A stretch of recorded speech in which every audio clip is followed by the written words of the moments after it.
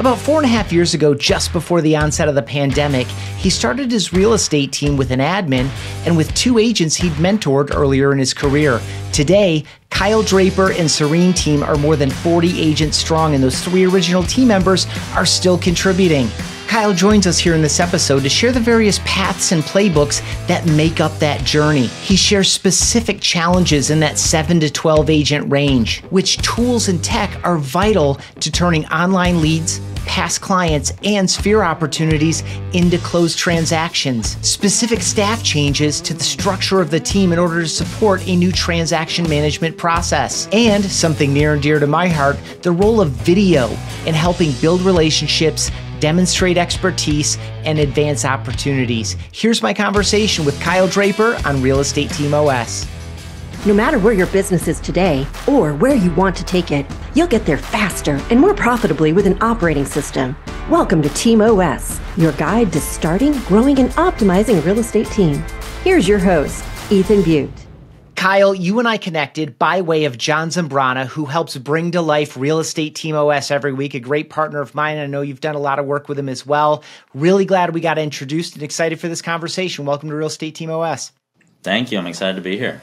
Yeah, we're, we're going to cover a lot of ground here. You're in a really interesting spot in your team journey, a spot where a lot of people uh, find themselves and decide do I step on the gas and go forward or do I like let up and get back to like this kind of smaller team where I felt like things were more manageable? Um, so we're going to cover a lot of ground here, but we're going to start where we always do, which is a must have characteristic of a high performing team. What comes to mind for you, Kyle?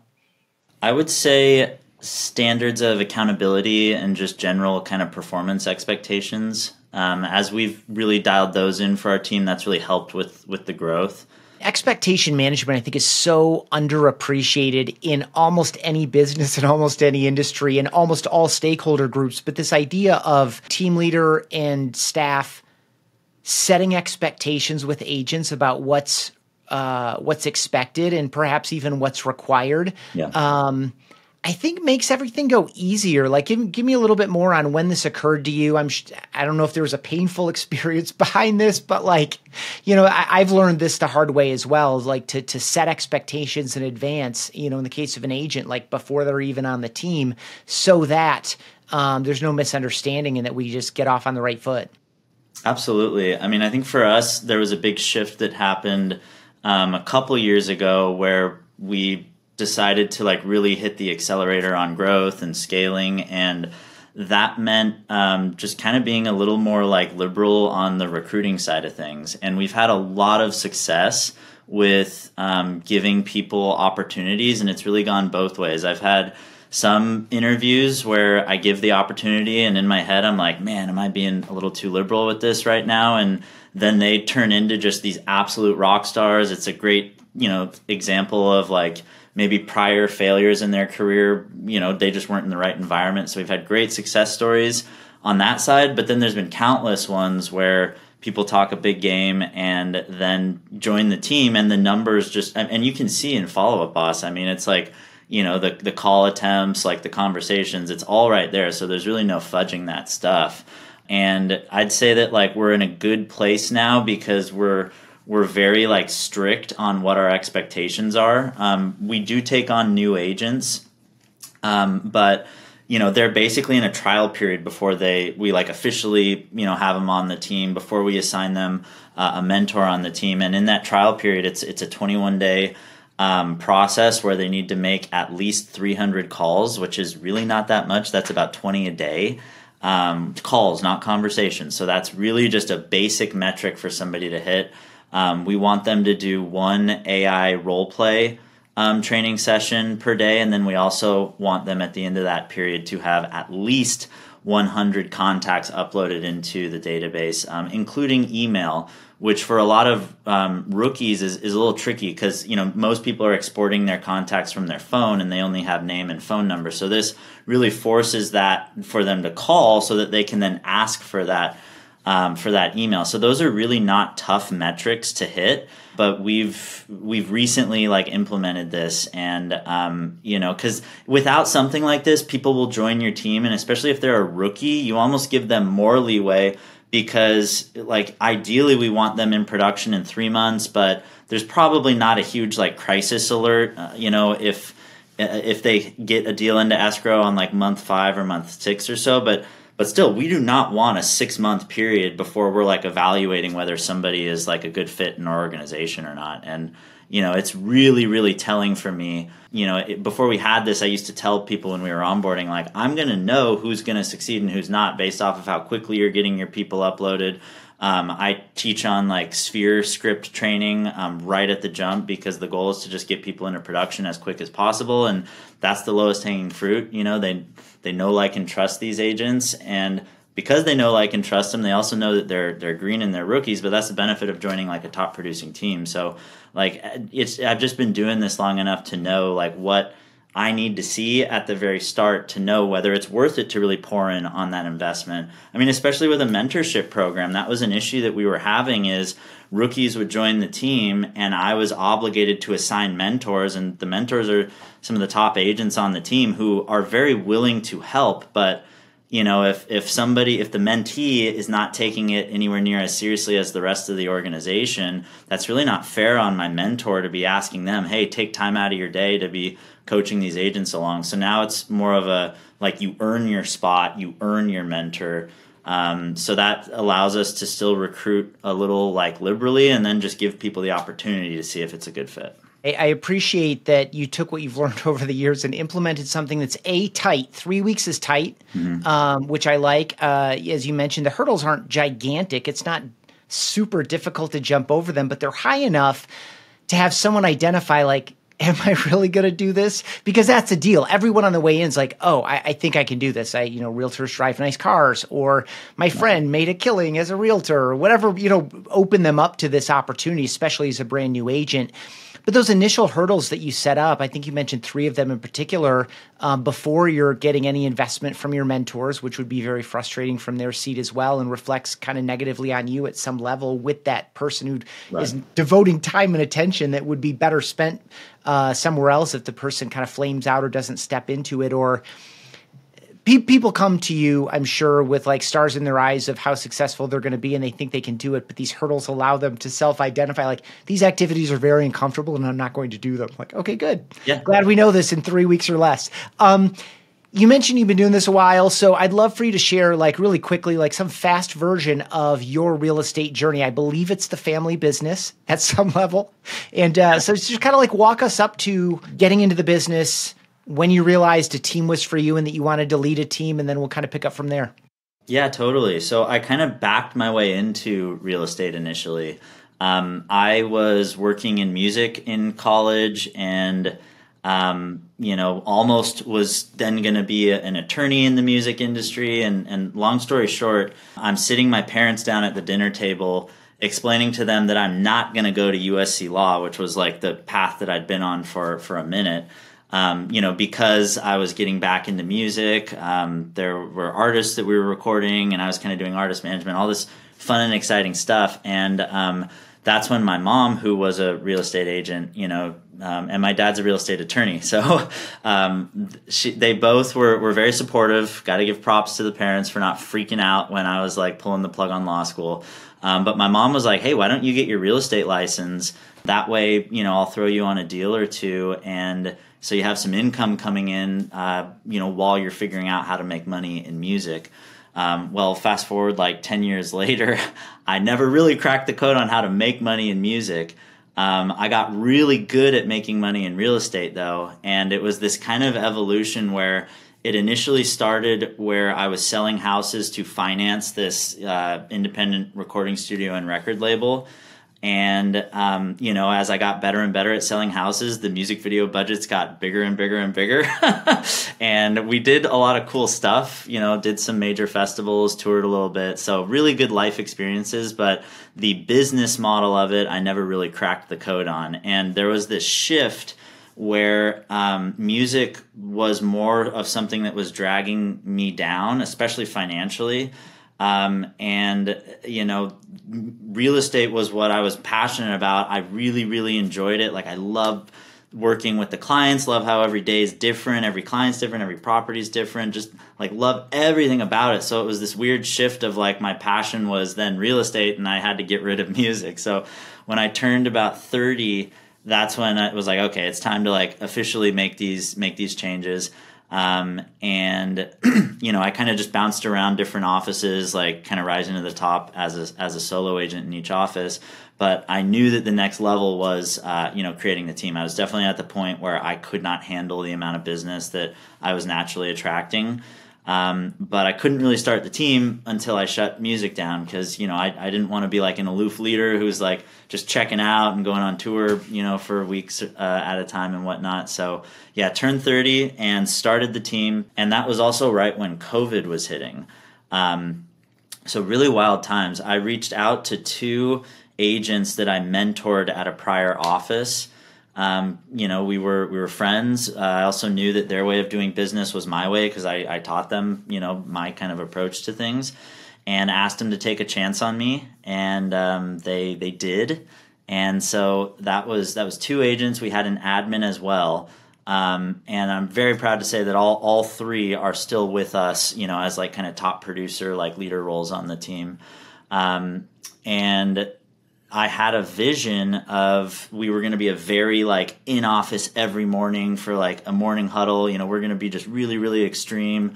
Um, and COVID hit, and uh, there were a lot of horrible things that came out of COVID. One beneficial thing that came for us was that it kind of forced me to take our morning meetings virtually.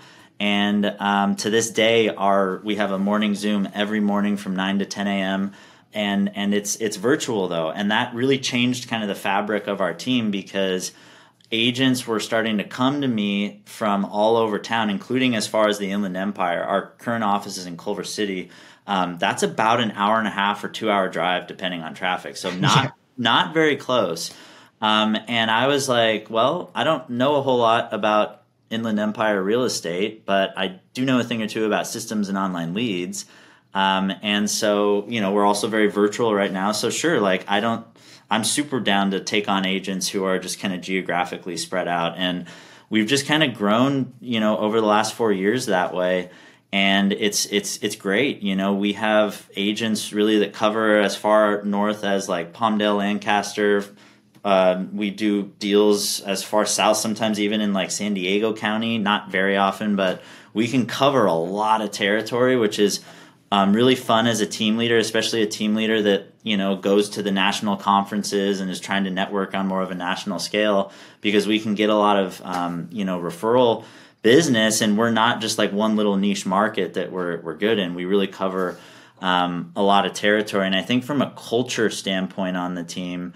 Um, I think that's a big part of why our agents are as like collaborative as they are because if we are you know at a kind of hyper local you know brick and mortar you know big big broker kind of office um, which I've been in a lot of those over my career. You, you, know, you're you're friends with your agents, but are you really sharing like all of your tricks? Because you're probably like mailing and door knocking, you know, the same sellers as as you know the other agents and whatnot. So.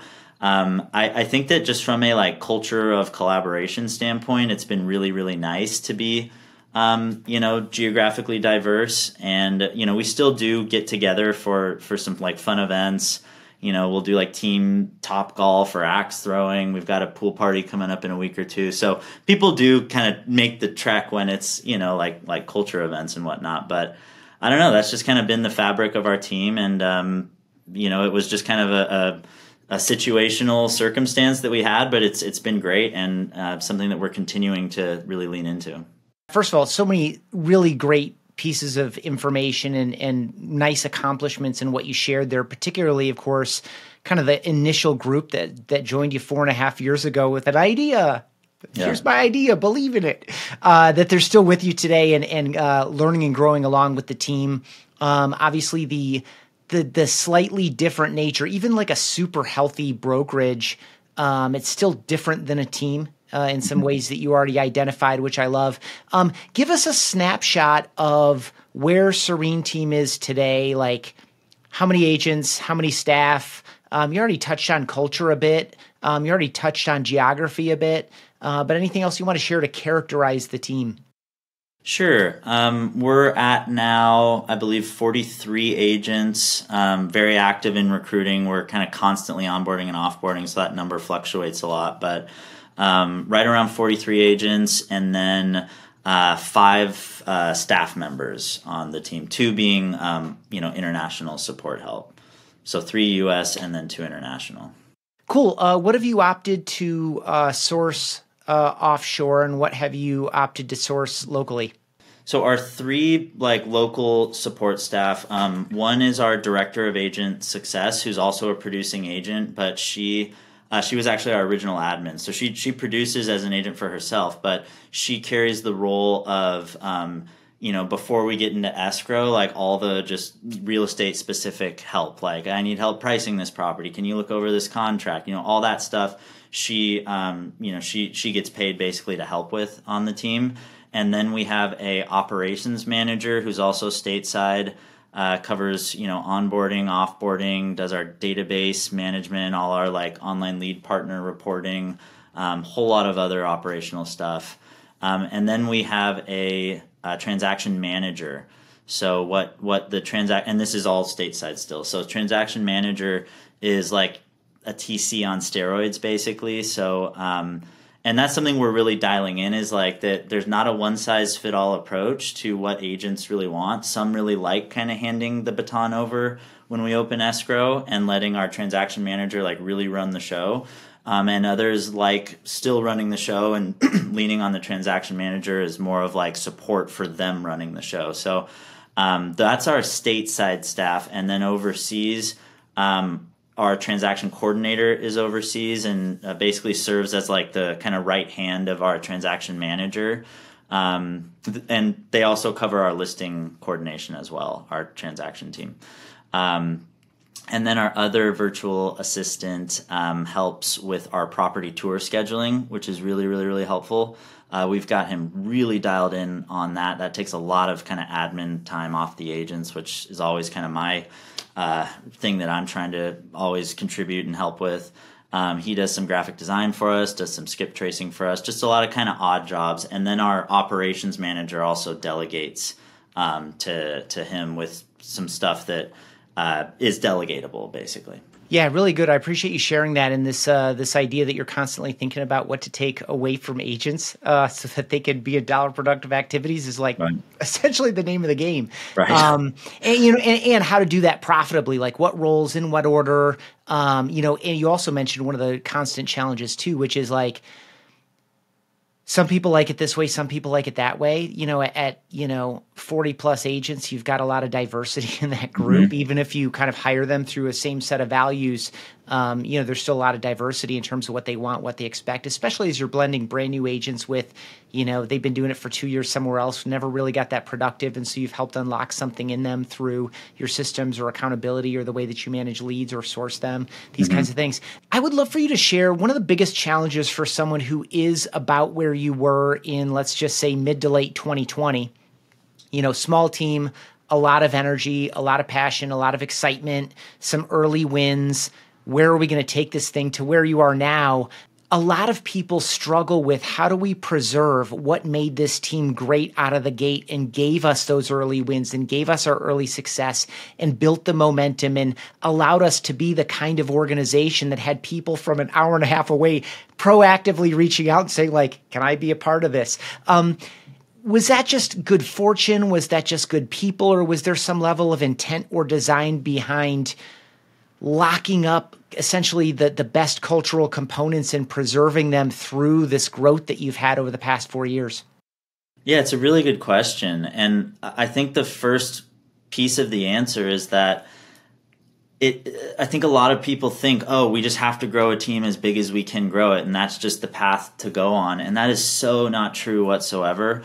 I think there's a lot of teams that should stay lean and nimble, um, especially if the agent is like a huge, huge piece of like the production, um, you know, piece and whatnot. So uh, that that's the first thing. Um, for me, my mentors are um, Mark Pattison, who runs Porchlight down in San Diego. Kyle Whissel runs, you know, the Whissel Realty Group. Colton Whitney is a mentor of mine. Um, and they all run like the large team model, and so I'm I'm very familiar with it. Um, we we mastermind together, so I'm fortunate enough to basically have like their playbooks to follow. And so for me, I know that it is the right path for us to like hit this accelerator, like really scale. Has it been hard? Absolutely um, from a financial standpoint, you also go through this like really kind of messy middle that you are going to be a lot less uh, profitable, quite frankly, than than you were before. I mean, it's kind of crazy when you think about it. Like most team leaders get to the point that they're at because they were just rock star agents, and so if you start a team, especially if you pull yourself out of production which we'll, we we'll get into that in a second. You know, th- that's the equivalent of this all-star player on the field stepping off, putting the coaching hat on, and then putting basically your like bench reserves onto the field, and you know, just really, really, really hoping that everything goes the way that it used to go. And that's tough. That's tricky. And you know, for us, when we first started, when we were um, you know, basically just a four four person uh, squad, like three agents and an admin um, it worked really, really well, and I was basically like very much in production, and we were partnering on on every deal. Basically, like I would handle a decent amount of the showings. Um, you know, very much just our duties were very much split, and then that continued to work as we added a few more agents. But then we hit just this kind of like breaking point. I want to say when we were around seven agents, because that model does not scale, right? Like I can't continue to be a like partner and continue to take on that same responsibility um, with that many more people. You just can't like duplicate that way. So that was a big. That was I'd say our probably biggest inflection point. Really was um, when was it? I, I, I want to say it was like the back half of 2021. Um, you know, going into 2022 is where we started to have these kind of growing pains, some kind of kinks in the armor and um, I went to actually it was uh, the Ylopo conference in in Vegas. Uh, I think spring of 2022, and I realized that I had the wrong CRM. Uh, we weren't with FUB yet at the time, and it was very clear um, at that conference that I had years prior just picked the wrong uh, pairing with Ylopo, and that, that FUB is is the you know the the horse I should have picked. So I was like, okay, shoot, we got to switch our CRM. Um, I made a decision to switch my coaches at that time as well. Um, and it also was clear that like I really need to kind of step out of production or at least in a different sense than than where I was at the time. Um, and you know then we then we really scaled. Uh, we were we were able to recruit a bit more aggressively. My current coach is very like growth minded um, and you know was just encouraging too of like me stepping out of production a bit.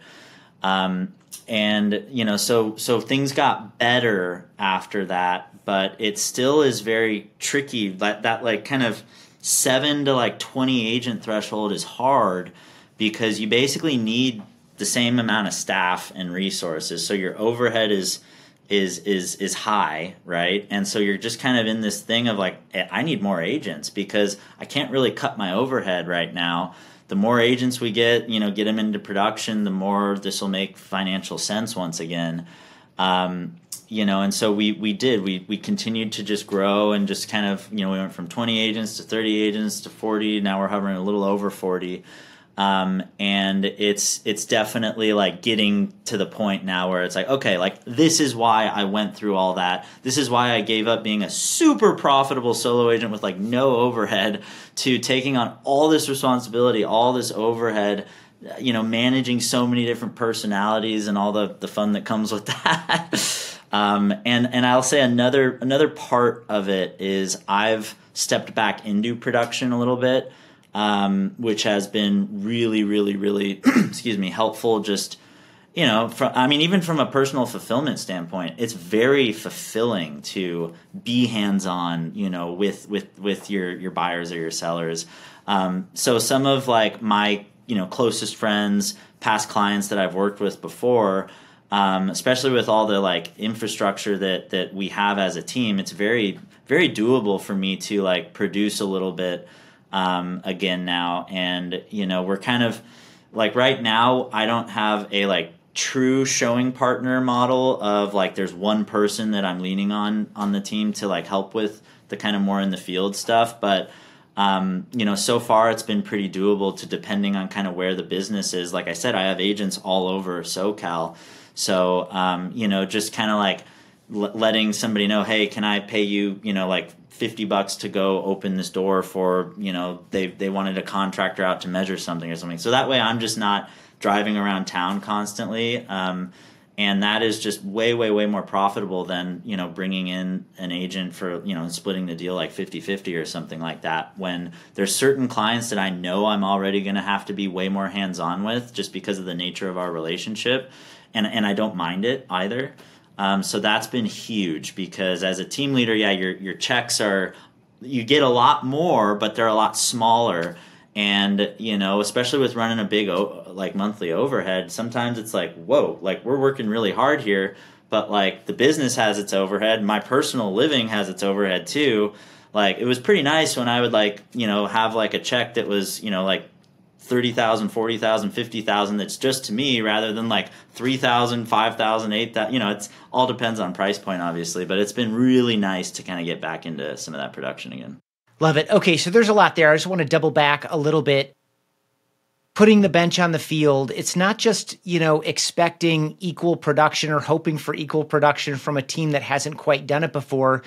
You also have never stepped off the field and coach. So it's like a, a rookie coach right. with a, you know, with with like some of the starting lineup, but also some of the bench uh, lineup like mixed in. That's part of the challenge getting back into production like when did that occur to you like like what was that about for you i mean you already explained a lot of the benefits of it like and the another benefit that i'm sure you've experienced that a lot of folks have shared on the show is i never left and or i got back in not just because you know it's helpful to the team and to myself um, but it also allows me to coach agents a little bit more effectively because the market mm-hmm. is always changing even when yeah. it doesn't feel like it's changing dramatically or super quickly it's changing all the time and there's no better way to be of value and service to the agents that you're directly engaged with in terms of like coaching guidance language and these types of things than having a sense of what's going on out there yourself but like what was that decision about for you? Like and i guess one more to kind of tack onto that. What did what did a good day, good week, good month look like for you when you were kind of right before you got back into production? What does that look like today? Like what were you doing that that um you were able to maybe set down or delegate that allowed you to spend some more time? Or did you just eat that time? You know instead of working 60 hours a week now i work 70 you know well uh, quite frankly you know a lot of I was afraid to take on any client by myself just because of how spread thin I am. So there, there was a component of that why I was bringing agents on files that now I would just be working myself. Um, there was also a component of um, you know, I really want to make sure I'm retaining top talent and you know there's definitely that kind of balance of like you know everything that we're providing as a team so like now we've got a ton of staff like systems up the wazoo all that good stuff so like i'm a little less self-conscious of like okay i have to at all times make sure that like the kind of team business and the the splits on all that is like really justifying people who have really strong solo production on their side, you know, because at the end of the day, there's something always going to be in the back of their head where it's like, would I be making more money if I was a solo agent, right? So, um, because of that, I was very much just like, okay, like all of my business, like I'm partnering with you on it. We'll we'll do it 50-50. Um, and you know that's that's great. But the reality again is that with these clients, I can't take the same back seat that I would with a a different team provided lead on the same splits, you know, which would be like a, an internet lead or something like that. I just, I realized that I'm like still very very involved in the work and especially like I said, we have a transaction manager now, so running escrows is very simple. You know, I know that I'm not going to miss anything because I'm so scatterbrained and have so many things on my mind, which was a huge fear before why I was like somebody else needs to be responsible, but just the cost of that now I can manage way better with our transaction manager. You know, she's paid a paid a, a flat fee at closing, um, and it's really not that much additional work I, that I realized. And I know I'm providing a lot, a lot to all the agents. So I'm, I'm a bit more just confident when, you know, there's opportunities that just make sense for me to work it myself. I'm, I'm confident doing that now. So it's not really more or less work for me, really, which is the crazy thing. Probably why I should have done it earlier. Um, yeah. Um, and I just know, you know, from masterminding with so many other team leaders, you know, like Colton Whitney, for example, he's a huge proponent of, of the showing agent model. Um, and, you know, just seeing him present on it, it's one of those things where I've known I should do it. it just took me a minute before I really executed. Now that I've done it, like, oh, it has made the world of a difference you mentioned when we first connected uh, that you were working on some staffing changes. Mm-hmm. I'd love for you to share as much as you want to or can. Sure. Um, when did you become aware that you needed to make some changes? What were those changes, and kind of where where is that in flight? Like, how did you become aware that like uh, I should probably switch some of the stuff up? Absolutely, yeah. I mean, you know, a lot of it is is just feedback that I'm getting from from the team. Um, kind of able to like recognize uh, just certain areas of, of, improvement that we can do. And, you know, I, I really wanted to have a model of this transaction management um, system that we're talking about. So, um, you know, the ori- original vision is different than where we're at now after I've kind of learned a lot from it. It's a very tricky model to run. Um, but I, I did know that like I, I wanted for, and again, what some agents like it, some other agents don't, but we were running into an issue with some of my top producers about like the amount of deals that they could basically put into escrow at a time. Um, just because of the amount of escrow involvement that was needed. And you know, to what we were talking about earlier, if there's anything that I can make a tweak on that is going to like allow agents to just really not have that ceiling on on their production, just really spend their time stacking the deals. If, if I can provide a team that like is not just TCing files, but is rather like you know doing the whole escrow basically for the agent. The agent still shows up to the inspection all the like in the field stuff but you know they they can take a back seat if they want to to our transaction management role. So that that's really what it was is just you know kind of uh, having this vision that um, you know there's there's a different way that I want to try this and um, I, I I see the benefits really long term and we're we're I guess what like five or six months into into the transition, and we're still refining it. We're still improving it. And again, my biggest takeaway is that there is not a one size fits all uh, approach, e- even per agent. Because I've noticed this with myself. There's some um, some clients are just going to demand way more of the agent, um, and other clients are going to be fine with you know being introduced to this new um, you know player in, in, in their escrow basically. And and there's so much too that we're refining to improve the process on like at what stage are we introducing the client to our transaction management staff? So rather than when we open escrow we're we're sending these emails out with like explaining the process explaining who they are when they're submitting offers you know? Um, same with how do we introduce our transaction manager to the agent on the other side of deals? We've had some agents that have no issue, you know, make having her as the main point of contact, and then other agents that no matter what we say, they're still calling the agent. And the agent's like, call our transaction manager, you know. So it's it's it's definitely a work in progress still, but I do. I do love the service that we offer to the agents. Um, there's a lot on the team that are like, oh my God, I could never go back to the old way of doing things.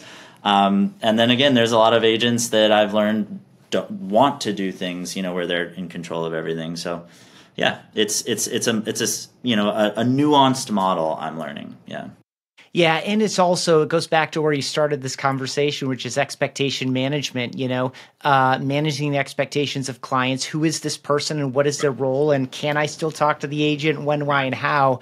And for some of these kind of like side cases, um, you know, the exception to the primary rule um, you know, how do we facilitate that so everyone knows what's going on and everyone knows who needs to contact who? I could see how there's a lot of, you know, there are a lot enough moving pieces there because you want to honor some of that variability that either the client or the agent prefers.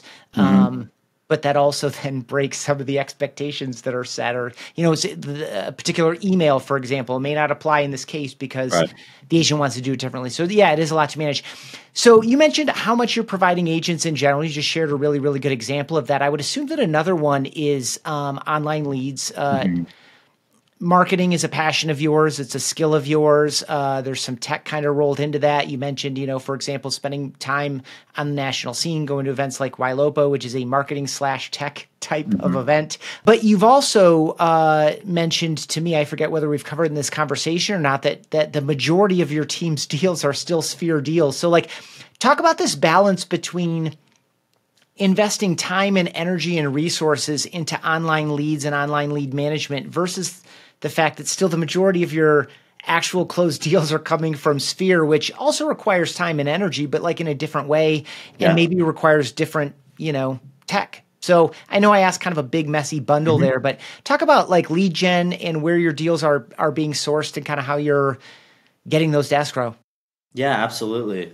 Um, it's it's so funny because our first year uh, as a team, when we were looking at our numbers, that that's when we had this big aha moment of, oh my goodness! Like I, I forget what the exact numbers were, but like Sphere was Sphere and past clients was just the dominant uh, source. I would say it's probably the dominant source for like the majority of of teams. Uh, you know, maybe Zillow Flex teams excluded, but um, but so we realized, oh shoot, like we have this great, great, great like source of business that is really more like an afterthought for us, and we are spending all of our time and energy talking about the online leads, our systems, chasing them. So we've gotten a lot better at like keeping that perspective, and we're very intentional with like sphere outreach. Um, like I was saying earlier, onboarding is like very skipped, uh, or sorry, uh, sphere script training based and whatnot. Um, so uh, yeah, it's it's it's definitely a blend, and there's some really good tools that are kind of helping us a little bit with the like online lead management and like taking a little bit less of like the time sink off of like our team and staff. Um, Maverick is a is a product that is really really really great on that side of things because we can basically just from a super zoomed out overview we can see like if there's rule violations in follow up boss which basically just means like the agents are tardy on you know doing outreach they're supposed to do. So rather than having to go through like every you know all these smart lists and you know having to individually like let agents know hey you need to do this on this you need to do this on this with like basically three clicks of a button we can do that at scale to our whole database. So that's been a really helpful tool in terms of to your point, yeah, making sure we're not spending all of our time and energy and focus on like this one one lane of our business that you know other other lanes we definitely want to be able to give that focus to. So yeah, it's it's about just keeping that perspective really. Um, I would say and.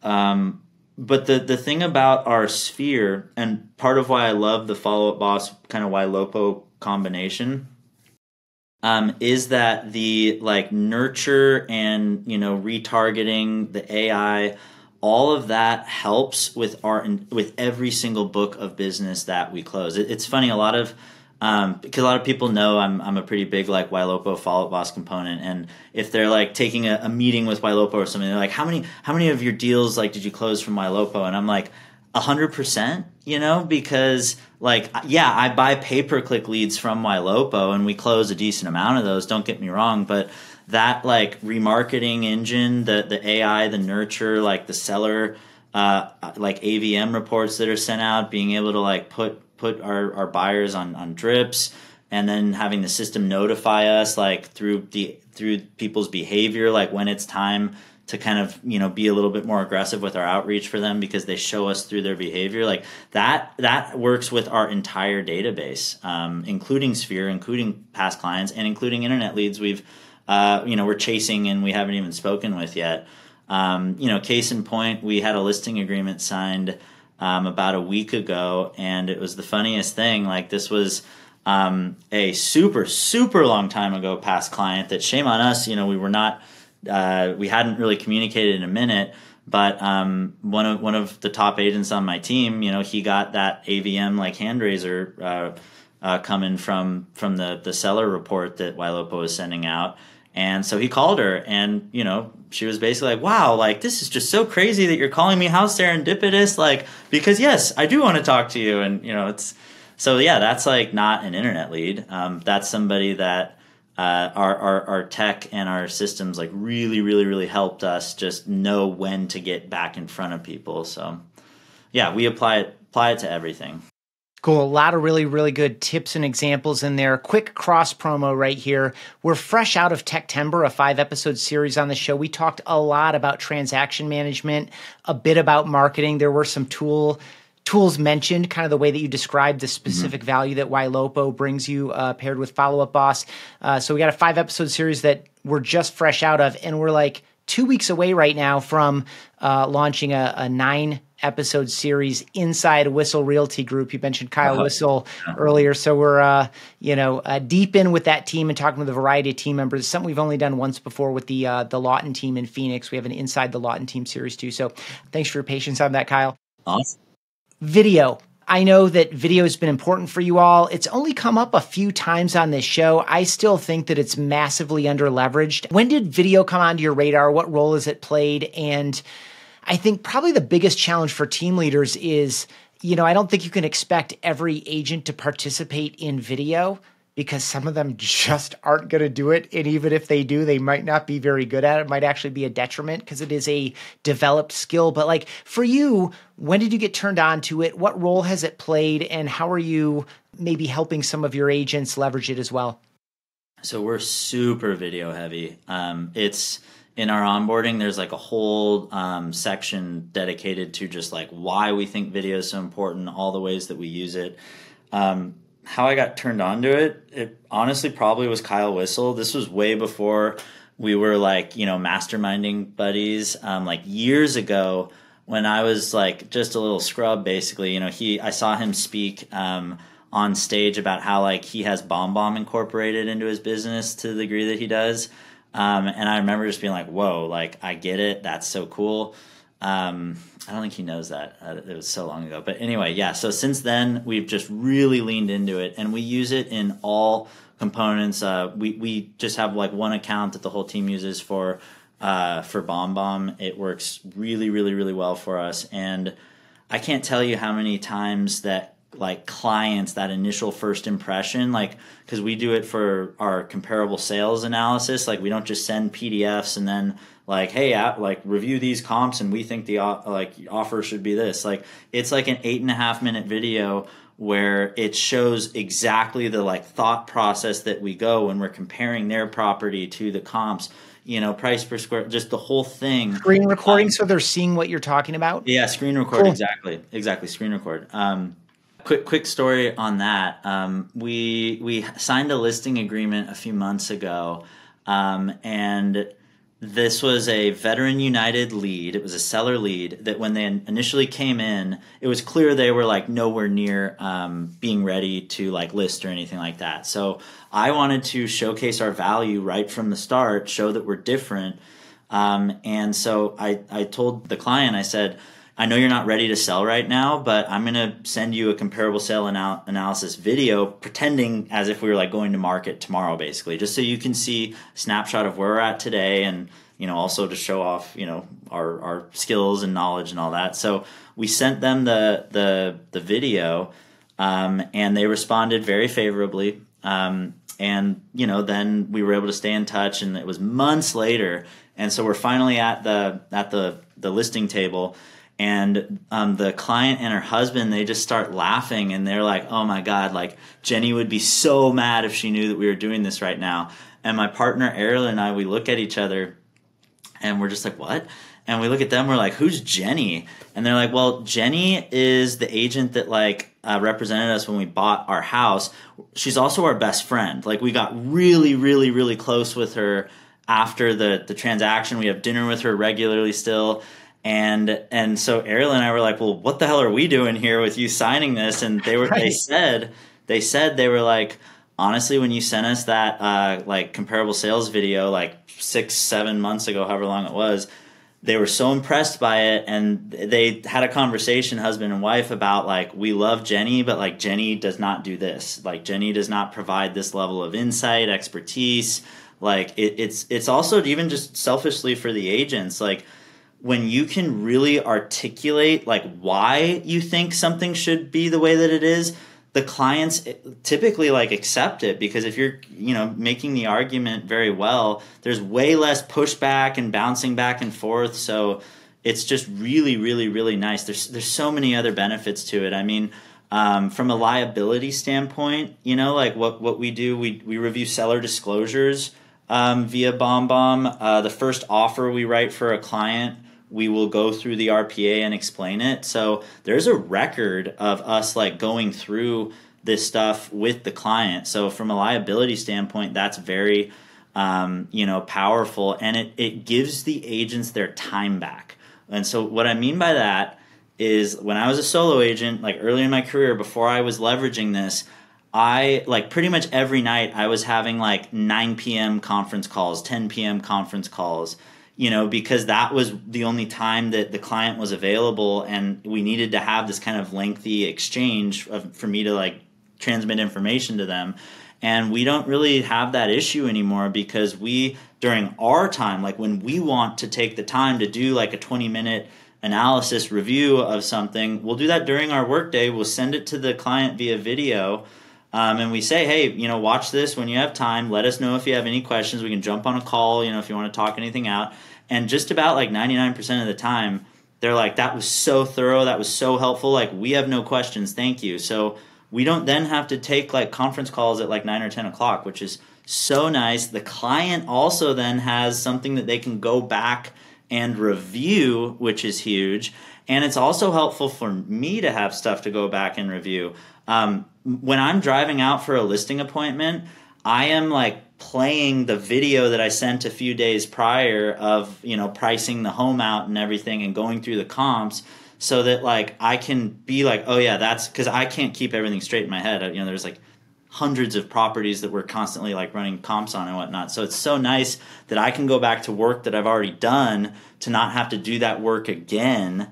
Um, and I'm like really, really current, and I'm able to just like spit out property addresses and numbers and pricing um, because I'm like reviewing the video that I did on the way to the appointment. So there's there's just so many benefits to it. We love it. Man, that's a great go. I'm kind of glad we didn't start on this topic because we could have spent the entire oh. conversation. I got I got a thousand things to say right now, but uh, but for anyone that's not familiar with with kind of where we were there, um, a there's a back button in your YouTube app or your podcast player. Like go back and listen to some of those use cases and benefits again. But we're talking about simple, casual, conversational videos or screen recording sent mm-hmm. in place of what would otherwise a maybe not be communicated, or B, communicated in typed out text that's faceless and doesn't have your personality, doesn't have your expertise, right. and all these other things that are missing from our uh, faceless digital communication. So, this idea that people feel like they know you before they meet you, or, you know, as you well described, like they understand your thought process and your rationale, it positions you as the expert. You're welcoming them into the process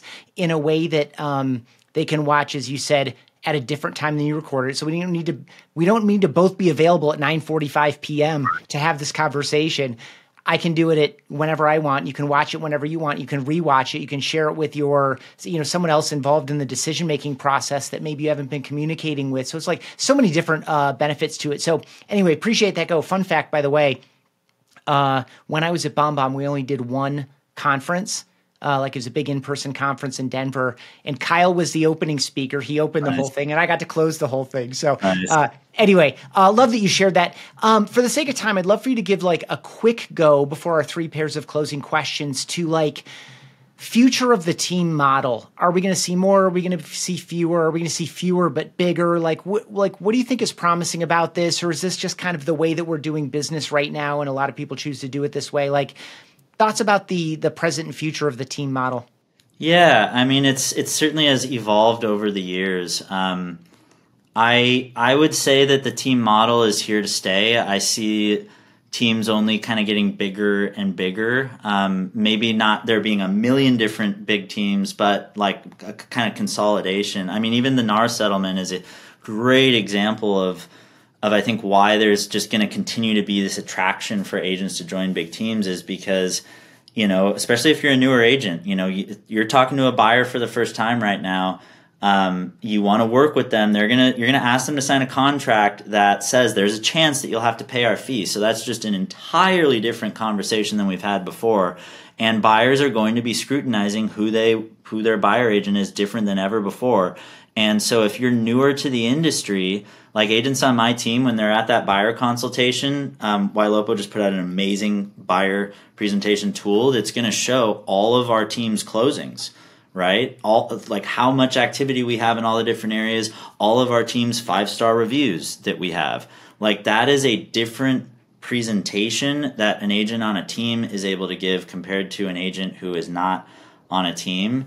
Um, and I just I just see that only only continuing that like people are going to continue to be selective with who they work with. And so just really it's necessary to have you know all the other cool value propositions that that big teams are able to offer to buyers right now that solo agents are not. So i see i see them continuing to uh, to really kind of have their place in the market and, and grow even Cool. Well, I wish you continued success in the growth of Serene Team. Before I let you go, Kyle, first, thank you so much. I really enjoyed this conversation. Again, I'm glad we didn't start on video. Uh, it's it, there's a lot, a lot there. But um, I'd love for you to share. Uh, I've got three pairs of closing questions. Uh, the first is, what's your very favorite team to root for besides Serene Team, or what's the best team you've ever been a member of besides Serene Team? I, I got to give my flowers to um, to uh, Porchlight Realty and and Whissel Realty. I'd say those those and it's funny because they're competitors in, in San Diego. Um, but like both both of their whole kind of teams infrastructures and then the leaders uh, individually, I mean, I'm just tremendously indebted to um, in terms of resources they've provided, just roadmaps, um, introductions that have been made that have been highly, highly um, beneficial. So I, I got to give love to those guys.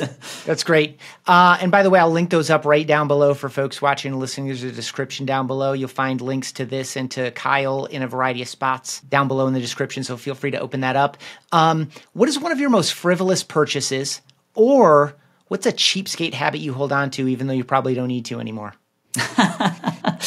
I'm I'm doing my best to to like lower lower expenses. Or earlier in my uh, my adult life, I think I was a little too loosey goosey. So I'm definitely definitely tightening the belt. Um, I I'll say I'll say this. Um, I am super proud of myself that I recently purchased a car. It's a 2017 um, Jaguar F Type and I love this car more than I've loved any car I've had in a long time. And I've had cars that are way more expensive than it. Um, but what I'm super proud of is that I cut my car bill from like 1200 a month down to six uh, 600 a month. Um, I think I think uh, the out the door price was like thirty three thousand or something. So I am so happy that I have a, a car that is so affordable but it gives me that excitement still. It's a convertible. I get to enjoy uh, driving around in you know Los Angeles with the top down. There's nothing better than that. But it is like not a um, oh my god, look at how much money I spent kind of purchase, and yeah. and I love that. That's really good. You had me at 2017. I'm in. Uh, yeah. yeah. Uh, what does it look like for you? Like, what are you doing when you're investing time in learning, growing, and developing? Or what are you doing? What does it look like when you're investing time into resting, relaxing, and recharging? Um, yeah, so the resting, relaxing, recharging. Um, for me, a perfect weekend because the weekday is just crazy. It's really hard for me to like get into projects just because of all the stuff, you know, the, the, appointment after appointment. My phone's ringing constantly. So weekends are huge for me.